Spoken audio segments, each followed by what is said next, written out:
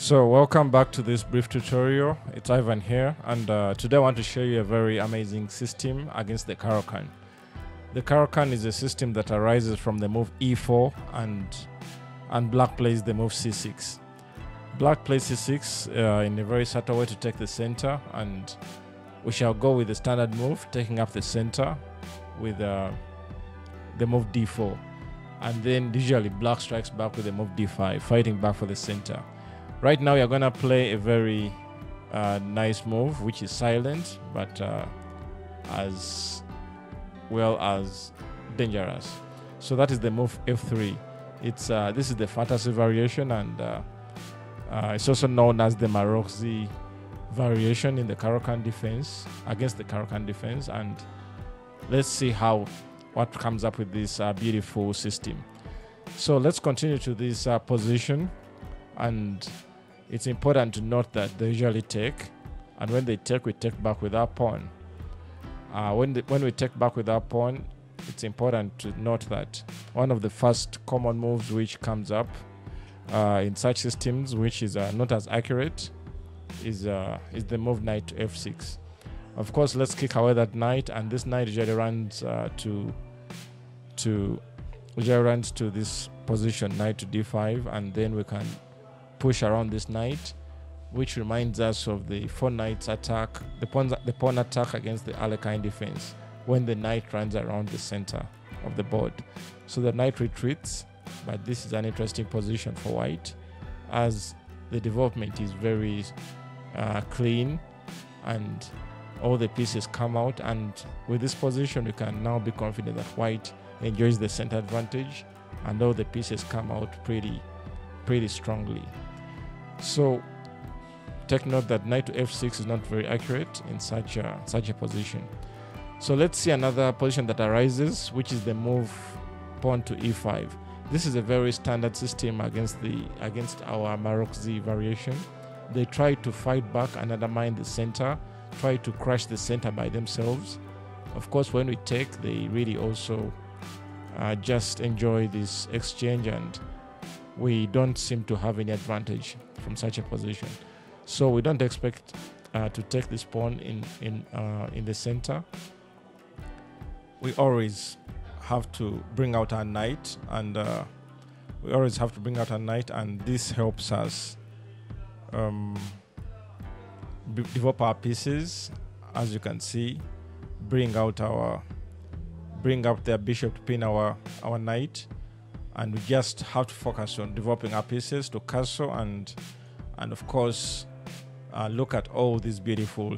Now the important thing to note is that knight to f6 is a blunder when we have to just continue with our plans. And of course as you can see that this is a very beautiful setup when white enjoys this attack.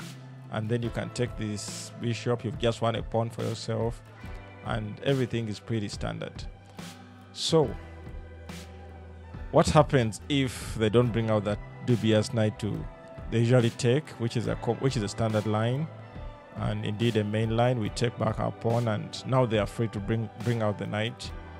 Of course we can take but they have this uh, uh, nice strike. But this may not fully of course we cover up with the knight uh, developing our pieces with tempo. When they take and then we can attack this queen when this queen takes, uh, we can push on and still strike in the center. When they take, we just enjoy this king side, and this move then comes in this knight, which just spoils their party, and we really have this nice game at this point at this moment. So, what happens as we've seen these two variations, we've seen the knight coming out, we've seen them taking.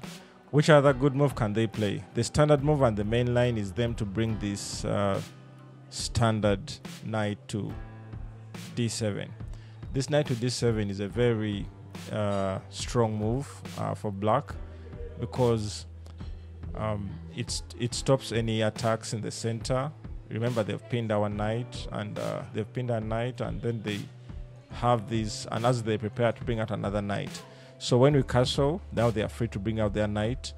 And when we we have to really always remember that our center has to be held with this move, held with this move knight c3.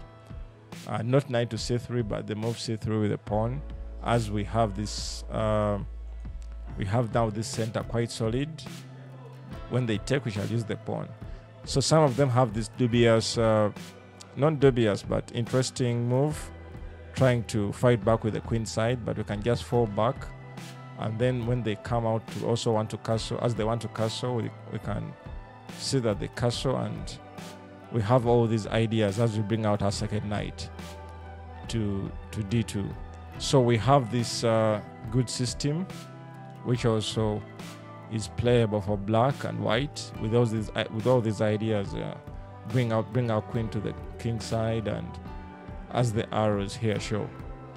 So we have developed this is an objective objectively equal position uh, there's no reason for for us playing any other lines than these beautiful lines anyway.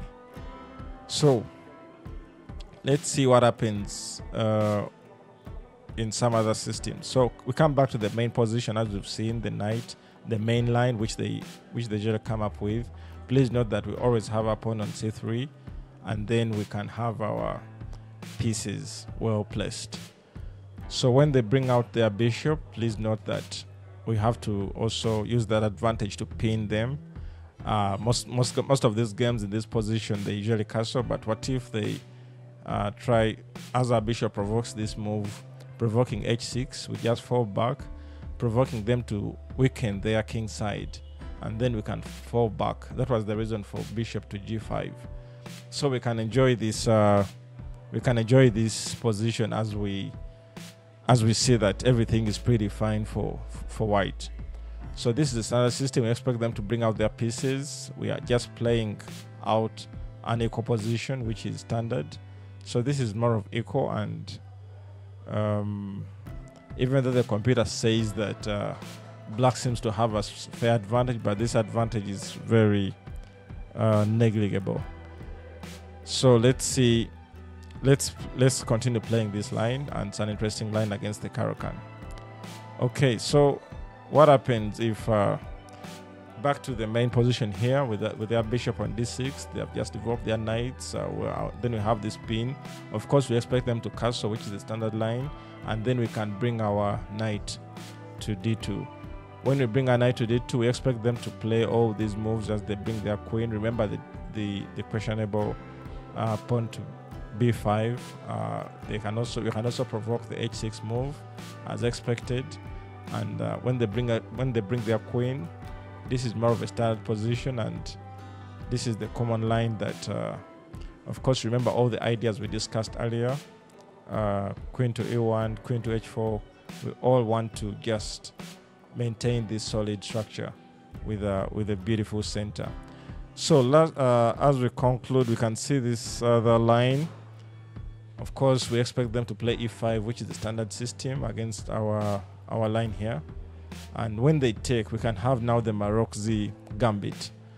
This Maroczy gambit is an interesting variation here. We seem to give up a pawn for quick development, for quick development of the of the bishop. So we have our bishop on c4, and when they challenge our bishop, we can just take and dismantle the the king side when we castle, we have these plans of uh, throwing a knight to g5 and of course our queen eyeing h5 and these are standard systems. So when that knight comes out please feel free to kick out that knight. Uh, remember that knight can fall into e4 and we have this still beautiful system. The knight retreats but now we have opened up the queen to attack the king on h5 so please remember this system and this variation, but most of them will go for this uh, knight to d5. Uh, of course, we have very few of them who will go for this knight to g, knight to g, um, knight to g4. Those who go with knight to g4, um, just feel free to still uh, uh, kick around that, kick around that knight, or please uh, continue with freely with that knight to g5 as you eye this uh, of course, we expect them to play this uh, dubious knight to d5, where we still control, we still strike with our knight to g5 with all these uh, strong attacks. Uh, sorry, with all these strong attacks on the king side. It's pretty, pretty unstoppable. So lastly, let's see this game against the. Let's see this game which they which uh which we have uh, MVL, a grandmaster, a top grandmaster, and against uh, Alekseenko. Alekseenko. Uh, this must be from Russia. Uh, MVL is from uh, France, a known French GM. So this guy plays this system, and this was a real serious game here, and everything moved according to plan. Remember what we say: they take and you take back the center, and then this Alex Alekseenko strikes the center. Everything. Remember, don't take, just bring out as this grandmaster did. As they pin him, just continue the reinforcement of the center since the knight is pinned. Uh, when this knight now comes out, uh, remember the development, stick to the development, the queen. So everything moved on pretty standard. They exchanged off the, the knight, and these guys really knew their systems. So uh, they went into a beautiful end game. They remember he could have taken, but he he goes for another main line, more of. So everything remains pretty standard. The castle's queen side, and this game this game was a nice one, as uh, this GM had to save the king side. So this game, we see some exchanges. It was more of a, an end game. So then comes the tactic when this guy, after feeling some pressure to retreat, uh, to to come up, uh, bring up the knight, fell into some tactic when he lost a pawn, uh, deflecting the king from the from the from the from the center, and then he he brings out. Then we see this uh, after winning a pawn. I think this became quite a, uh, a disturbing game for for black. So white exchanges off the rooks, uh, and then goes into a beautiful end game of some strong maneuvers when the king uh, when the bishop leaves and then this guy we see this guy having this uh, strike in the center. And then this pawn by now we can say that uh, black black fell prey over over of a, of an inferior endgame when uh, things were really working against him. And soon of course he resigned at this point having seen that white was winning with a huge advantage. Of course these are these are grandmasters and there was some need for endgame mastery and technique Okay, see you in the next lecture and have a good one. Bye.